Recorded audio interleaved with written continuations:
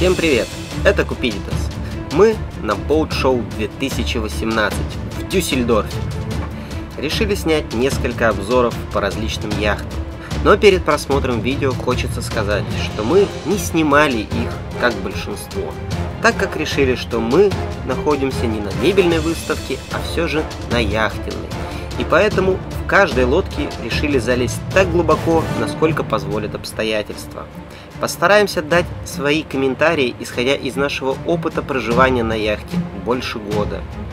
На выставке очень много людей, снимать было тяжело.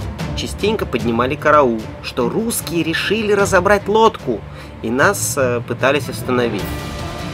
Безусловно, это наш первый выставочный опыт. Просим не судить нас строго. Но мы постарались залезть как можно глубже и постарались сделать кадры красивыми, насколько это возможно при тусклом освещении и многолюдности. Обязательно пишите комментарии и аргументированную критику, ведь мы еще собираемся в Канны. Приятного просмотра! Подписывайтесь на канал прямо сейчас, чтобы не пропустить следующие выпуски. Дюфур Grand Large 412 Современная лодка 2016 модельного года. Как и все дюфуры, вполне отменно ходит. Из диаграммы мы видим, что она может идти до 35 градусов к ветру. Некоторые технические характеристики базовой комплектации. Верфь предлагает три варианта планировки лодки – двухкаютная комфортабельная версия, трехкаютная с одним санузлом, но большой кроватью в носовой каюте, и трехкаютная версия с двумя санузлами.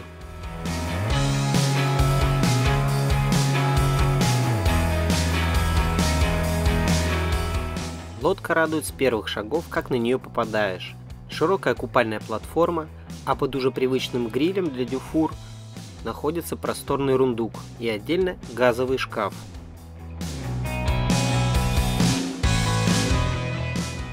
Для разных сценариев использования в этой лодке реализованы складные подпорки для ног.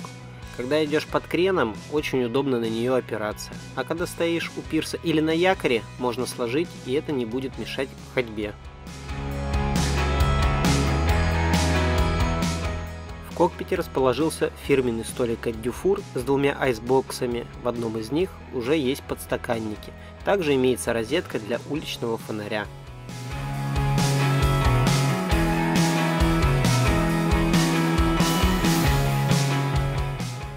Вход в лодку выполнен также распашными дверьми, но с очень интересным решением. Вместо магнита здесь применили кнопку. Вход получился достаточно просторным. Дверцы прорезинены, поэтому не стоит переживать о том, что попадет туда влага. Даже трехкаютная версия оснащается достаточно вместительными, хотя и неглубокими рундуками.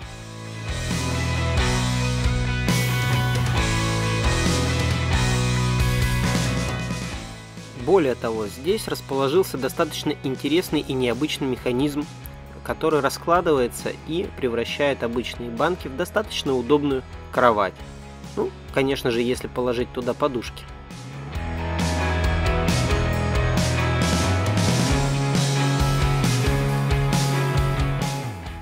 Второй рундук в этой лодке не менее вместительный, чем первый.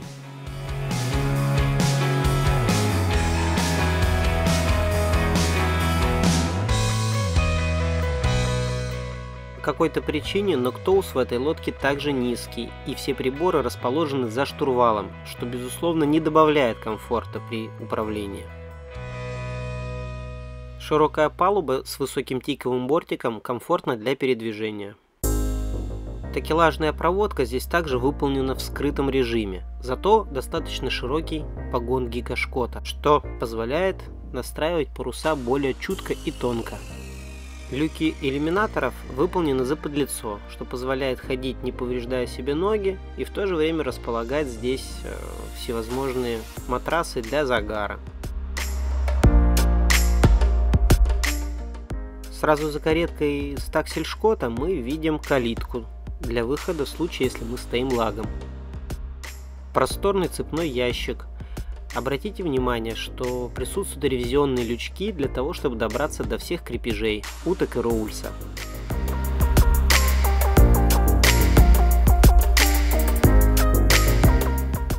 Итак, перейдем в кают-компанию. Она здесь просторная, как и ожидается от 40-футовой лодки. Очень много действительно удобных и классных рундуков под сидениями, в спинках стульев. Но давайте посмотрим, все ли они нам доступны.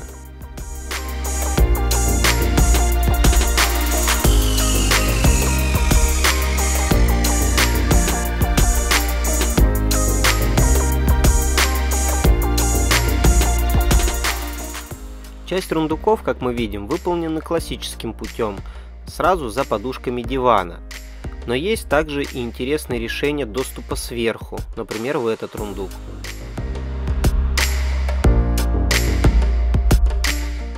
Этой лодке, как младшей версии, почему-то нет выдвижного ящика, видимо связано с тем, что он находится под столом. Приборная панель на новый манер расположилась горизонтально и, как обычно, заняла весь рундук.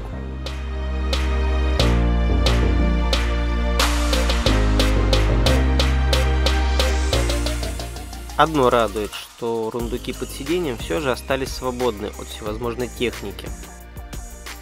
Решение штурманского стола здесь достаточно интересно, поскольку в современном мире шкипер все меньше и меньше использует карты, здесь уделяется этому минимальное количество внимания и добавляется возможность, если столик действительно не нужен, трансформировать его в кресло.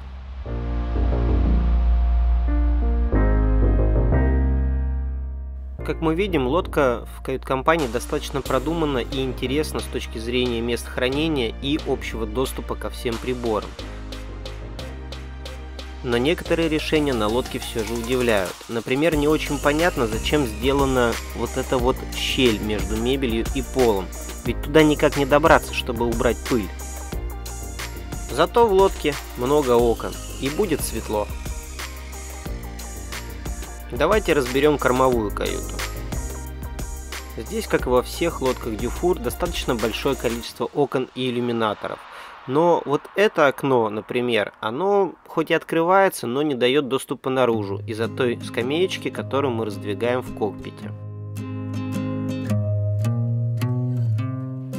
Привычный шкаф для дюфур без бортика для скатывания вещей, зато с полочкой для обуви внизу.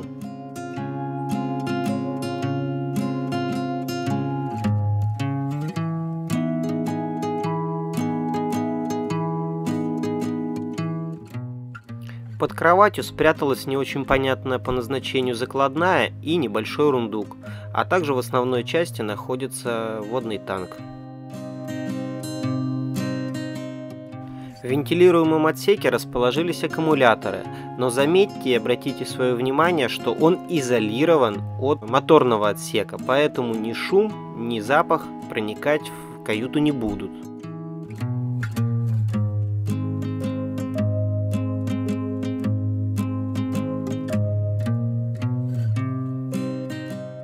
Доступ в моторный отсек выполнен с хорошей шумоизоляцией. Чтобы попасть в трюм, по елу нужно вынимать двумя руками, зато даже при перевороте лодки она останется на месте.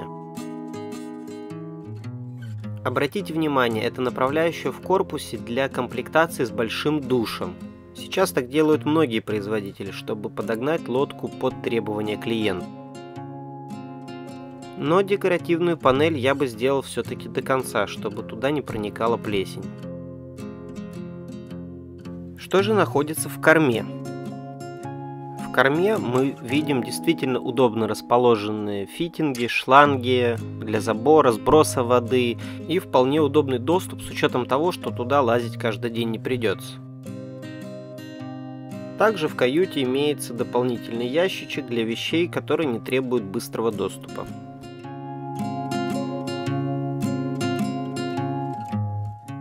Под лампочкой расположились выключатели сервисного и стартерного аккумуляторов. Каюта по правому борту вполне идентична.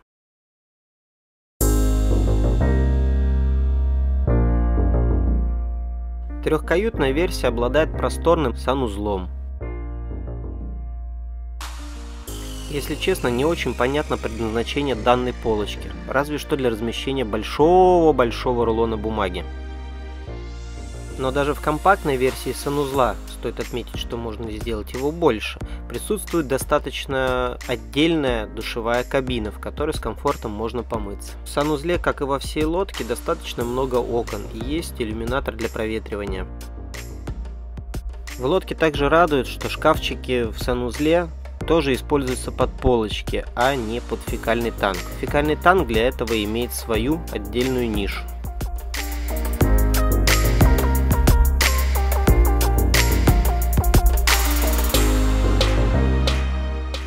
Пора посмотреть и камбус. Камбус Г-образной формы удобен для использования его на ходу. Здесь присутствует холодильник с возможностью вертикальной и горизонтальной загрузки. Горизонтальная загрузка, конечно, удобна только при стоянии на якоре или возле берега, потому что она выполнена под крен. Здесь также присутствует множество ящичков и рундучков, имеющие доступ к всевозможной технике для ее обслуживания и инспекции.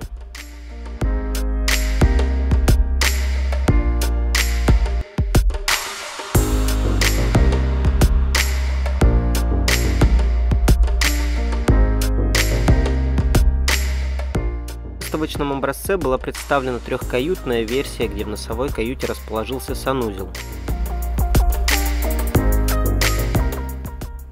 Второй санузел в этой лодке уже менее просторный, чем первый, и уже часть ящика занята фекальным танком. Но, к сожалению, э, по-другому никак не решить этот вопрос, зато есть второй санузел, и это плюс.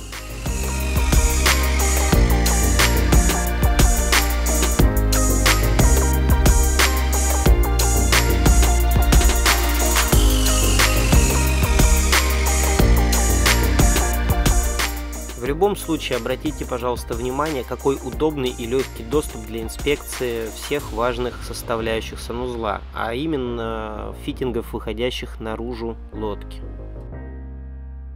В версии с двумя санузлами в носовой каюте расположилась треугольная кровать, что чуть менее удобно, чем в предыдущих двух версиях. Также в этой каюте за счет второго водного танка достаточно маленькое количество рундуков, поэтому при заказе и выборе той или иной версии и комплектации обратите внимание, что вам будет более необходимо. Водный танк, рундуки, нужен ли второй гальюн и э, от этого будет зависеть то, какую версию вам стоит выбрать. Ведь у каждого свои потребности.